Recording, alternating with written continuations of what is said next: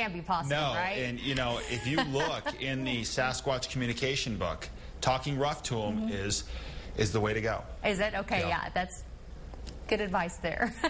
Let's go ahead and show you what's going on. Excuse me.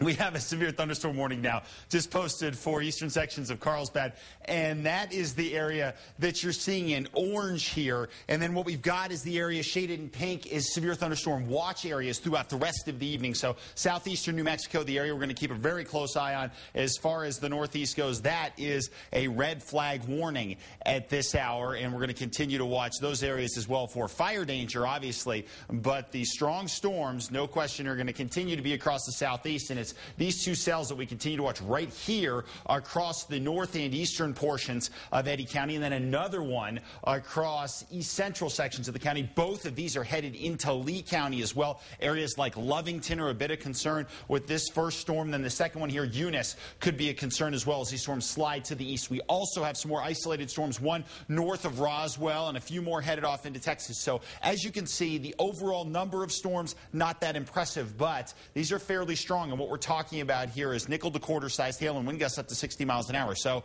we've got some concern with these storms. Obviously, you want to stay inside. They approach your area and across the southeast throughout the night tonight. We are going to have to watch for those severe storms. 91 in Albuquerque, west southwest wind 6 miles an hour. Winds not as big a deal today as they were yesterday. 30 miles an hour Las Vegas, 26 Raton, 24 in Alamosa down to the south, 30 Carlsbad for a wind gust, 22 Silver City. Your temperatures, well, they remain very warm out there. 80s to the north, Albuquerque at 91, down to the south, temperatures for the most part in the 90s for us. But you can see with some cloud cover and some showers in the area, Carlsbad starting to cool a little bit, dropped off by about 10 degrees where they were about an hour ago. Latest storm system continues to lift off to the north, and that's actually very good news for us. So really the only thing we have to worry about are those storms across the southeast for tonight. With the storm lifting on out, what's happened is the winds have died down for us, so that is some good news. We've had that southwesterly flow of air that was very gusty yesterday. Today, not as gusty.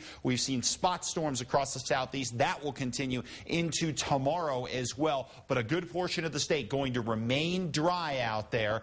The problem is fire danger is going to remain high. Even though the winds die for us, we still have breezy conditions that are still very dry out of the southwest. And because we don't have much moisture in the air and the heat's gone up, the moisture's gone down, areas like around the Bosque and Belen and as you get up around Durango, these are all critical areas for fire danger. And of course, across the mountains outside Santa Fe and the Tecolote fire, not good news, obviously. The winds come down, but still we're very, very dry. So that leads to concerns with that fire danger, and that includes the Four Corners, where temperatures will be in the 80s and 90s for tomorrow. A breezy afternoon, lots of sunshine, low relative humidity, and as you can see, temps going to stay fairly high through the weekend there. Back toward the south and west, plenty of sunshine, warm temps, triple digits, Deming, Lordsburg, and Las Cruces with mostly sunny skies. South and east, we've had isolated showers this afternoon, more possible by tomorrow afternoon. Watch out for that possibility of severe storms in Eddy, Lea, Chaves counties up into Roosevelt County throughout the night tonight,